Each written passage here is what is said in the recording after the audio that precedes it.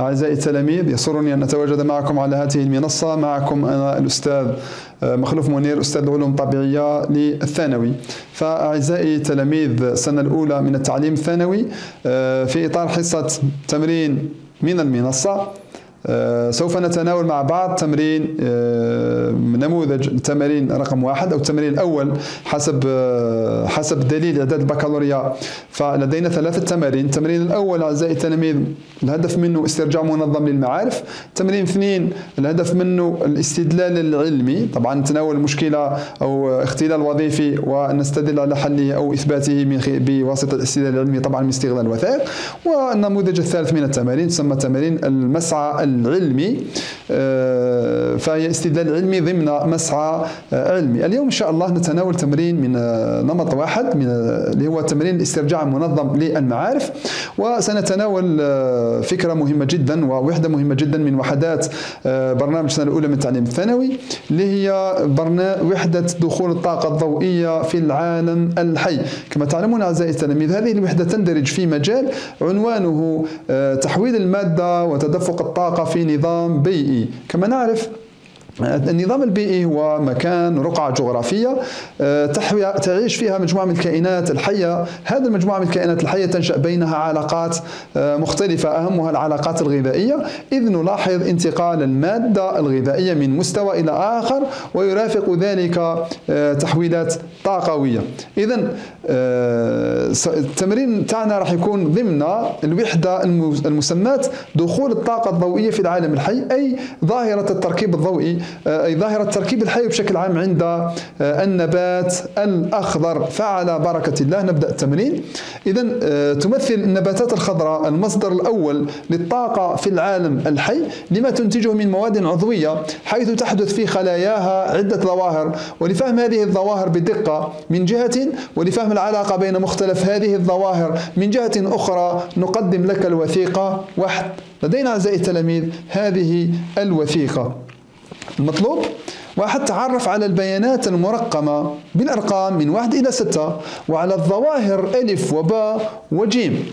اثنين بالاستعانة بالوثيقة واحد وعلى معلوماتك. بين من خلال نص علمي العلاقة بين الظاهرة ألف والظاهرة باء والظاهرة جيم. جيد. إذا راح نبدأ بالبيانات. إذن أعزائي التلاميذ لدينا البيانات. ستة بيانات. لدينا الوثيقة هنا أعزائي التلاميذ إذا البيانات على بركة الله. بيان رقم واحد. ماذا يمثل؟ إذا لاحظوا معي جيدا هذا المخطط. نتأمل جيدا في هذا المخطط في هذه الوثيقة.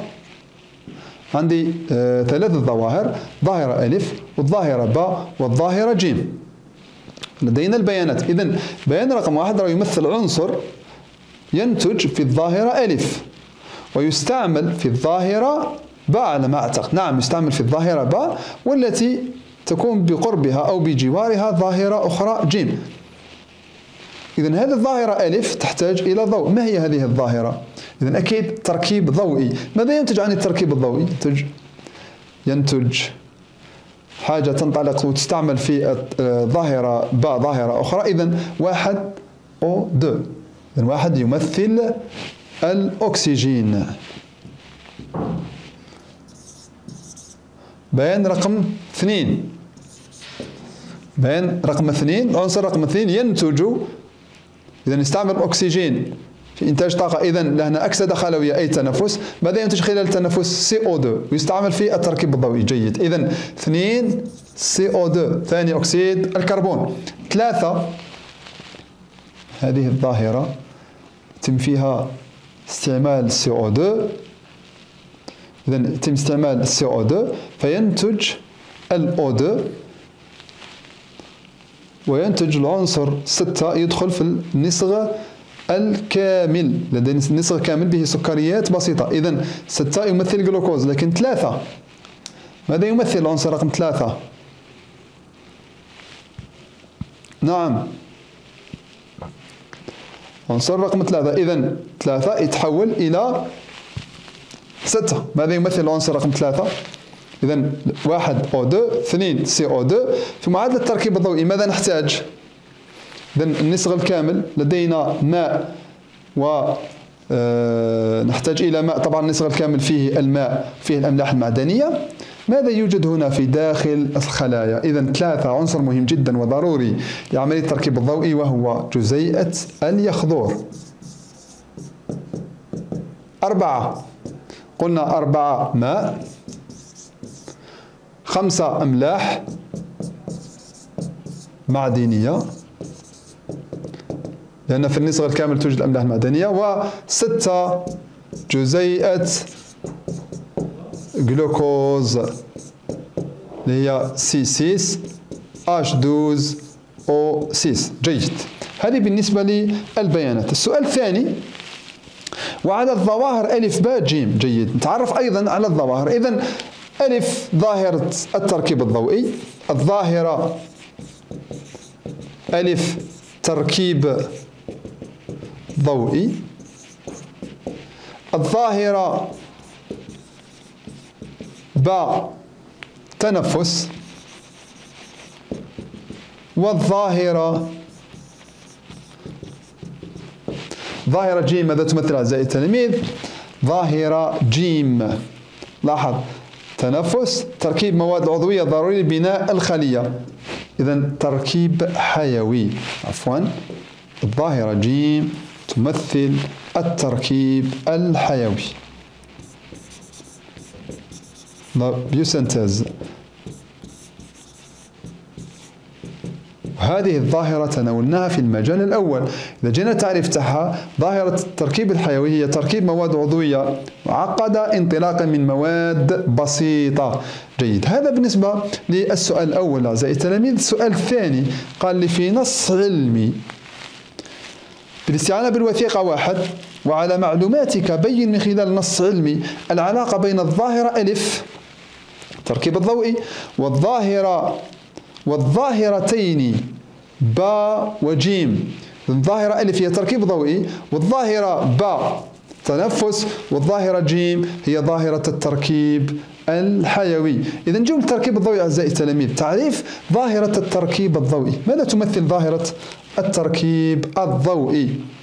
ظاهرة التركيب الضوئي هي ظاهرة حيوية يتم فيها شو يتم فيها؟ تركيب مادة عضوية. تركيب مادة عضوية. والمادة العضوية أعزائي التلاميذ على ماذا تحتوي؟ المادة العضوية تحتوي على طاقة كامنة. إذا طاقة كيميائية طاقة كيميائية كامنة. هذه الموجودة في المادة العضوية.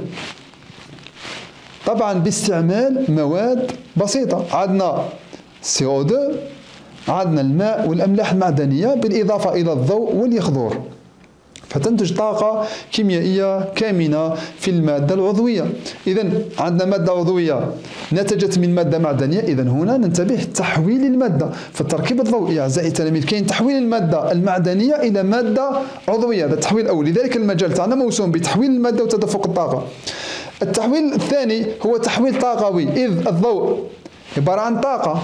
حيث تتحول الطاقة الضوئية الطاقة الضوئية طبعا ها هي تتحول إلى طاقة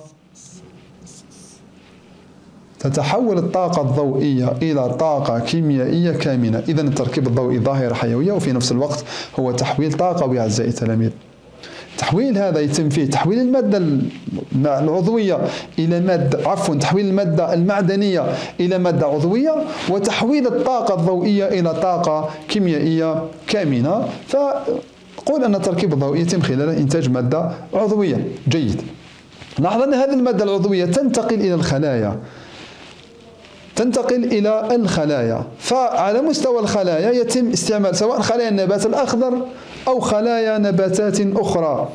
نعرف أن الحاجة رقم واحد للنشاطات المختلفة للكائن الحي هي الطاقة. الطاقة الكيميائية القابلة للاستعمال. كنا تناولنا هذا في التنفس. فالطاقة الكيميائية القابلة للاستعمال يتم إنتاجها خلال عملية التنفس. طاقة كيميائية قابلة للاستعمال. ها إنتاج الطاقة. هي طاقة كيميائية قابلة للاستعمال. هذه الطاقة الكيميائية القابلة للاستعمال من أين حصلنا عليها؟ حصلنا عليها من خلال تحويل الطاقة الكيميائية الكامنة في المادة العضوية إلى طاقة كيميائية قابلة للاستعمال. طبعا هذا مفاهيم الظواهر أنا قاعدين نتكلم عليها التركيب الضوئي والتنفس. إذا فتنتج طاقة ماذا تفعل؟ الكائنات الحية أو الخلايا بهذه الطاقة القابلة للاستعمال. طبعا تستعملها في مختلف النشاطات الحركة النقل آه، من بين نشاطات التركيب الحيوي أو التركيب العضوي أو البناء بناء المادة الحية. اللي راح تشكل فيما بعد الكتلة الحية سواء للنبات أو للحيوان. الآن هذه العلاقة بين هذه المكونات. التركيب الضوئي يعطيني مادة عضوية. المادة العضوية تروح للخلايا. خلال عملية التنفس يتم تحويلها أو أكسدة هذه المادة العضوية لإنتاج الطاقة القابلة للاستعمال. الطاقة الكيميائية القابلة للاستعمال تستعمل في التركيب الحيوي اللي هي الظاهرة. جيم. إذا السؤال يقول استعانة بين من خلال النص العلمي العلاقة بين الظاهرتين. بين الظاهرة ألف والظاهرتين باء وجيم. جيد. إذا كي نجيو إحنا للعلاقة هذه عفوا. لهذه العلاقة فما علاقة التركيب الضوئي؟ بهاتين الظاهرتين. إذا لو يغيب التركيب الضوئي هل تتم هاتين الظاهرتين التنفس والبناء الحيوي؟ لا يمكن أن تتم. فالتركيب الضوئي ظاهرة مهمة جدا توفر للمادة العضوية الضرورية للقيام بعملية التنفس والضرورية للقيام بعملية التركيب الحيوي.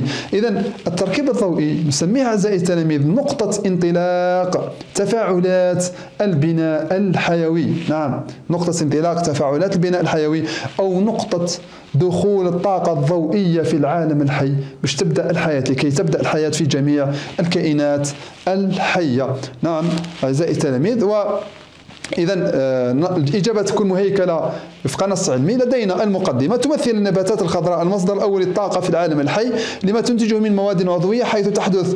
في خلاياها كل من ظاهرة التركيب الضوئي وظاهرتي التنفس والتركيب الحيوي. فما هي العلاقة بين التركيب الضوئي وظاهرتي التنفس والتركيب الحيوي؟ ثم نتطرق إلى العرض. إجابة عن هذا السؤال.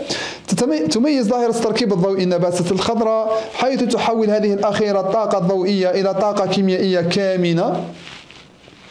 طبعا باستعمال مواد عضوي مواد معدنية بسيطة هي الماء والسي أو 2 تحول إلى طاقة كيميائية كامله في المادة العضويه مثل النشا ويتم هذا في توفير كل من السي أو 2 الضوء والماء نعم.